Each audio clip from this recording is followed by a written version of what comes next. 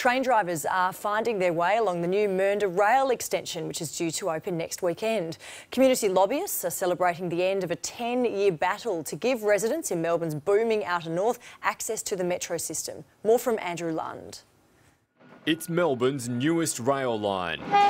Okay, once we leave here, guys, we're on the obviously the new Mernda track. And for the past few weeks, train drivers have been busy learning the eight kilometre route from South Morang to Mernda. After we leave there, we've got three automatic signals and then we've got home signals all the way into Mernda. Train crew must complete two runs along the new rails before being qualified, and long-time driver Graham Arnold is impressed with what he's seen. There is a bit to take in, but uh, it's not a bad section of track. Um, things have improved a lot over recent years in respect to sighting of signals and um, location of stations. The Mernda line isn't actually new. It follows the old Whittlesea rail corridor. Back in the 1950s, electric red rattlers would take travellers from the city as far as Thomastown.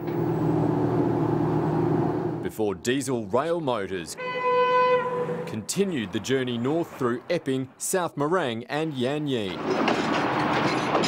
The track was closed in 1959. Next Sunday it will reopen with three new stations after a 10-year community campaign. We didn't accept what the government said in that we didn't need a railway. We told the government that we do want a railway because at the end of the day, they represent us, not the other way round. Eight years ago, Labor was planning to build a busway, but after a change of heart, jumped on board the rail plan the right solution has been put in place for the Mernda community. This is a growing, a rapidly growing part of Melbourne. The new extension is initially expected to be used by around 8,000 people every day, but that number is likely to grow as development continues in the surrounding area. The public will have a chance to test the new line tomorrow with a special open day between 12 and 3.